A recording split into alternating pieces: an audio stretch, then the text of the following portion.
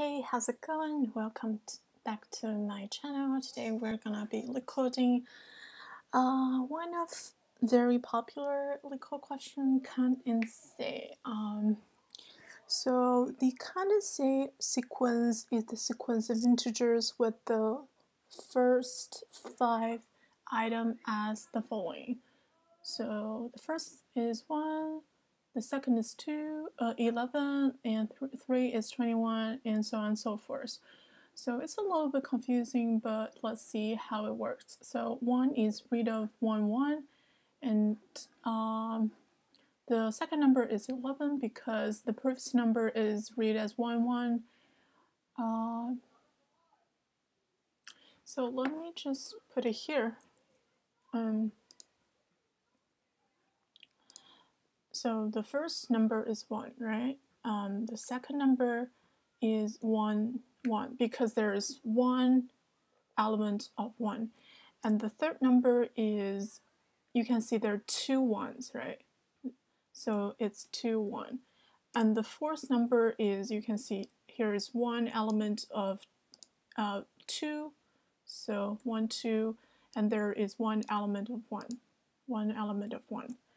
And uh, the next number should be, you can see there is one number of 1 and there's one element of value 2 and there are two elements of 1. So there are two elements of 1.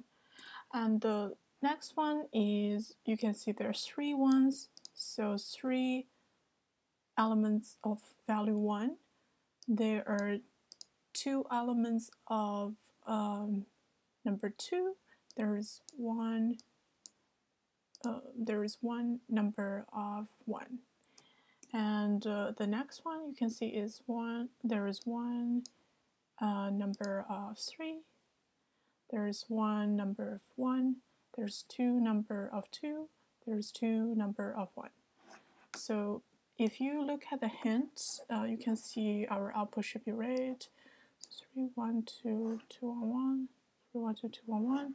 Here is one three one one two, and so three two three twos and one. So the, that's that's what the question is about.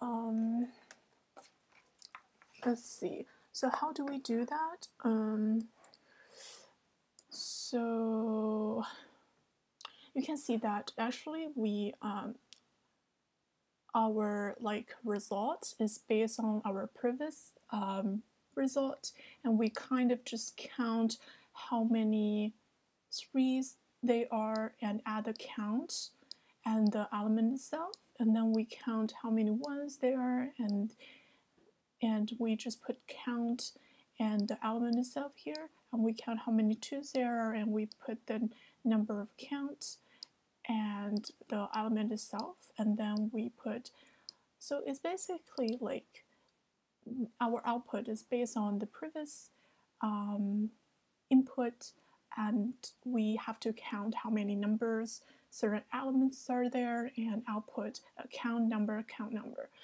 I hope this makes sense. Um, um, so in the hint uh, in the description uh, it says that um, the end your input is gonna be less or equal to 30 and you have to do it recursively. So basically you have to your solution should be a recursive function. So if you know about recursion you know that there's base case and you build upon the base case. So let's first write the base case. So the base case is n is equal to 1. So if n is um, equal to 1, and, and what should we return? We should return, you can see here, your output should be a string, right? So your output is a string.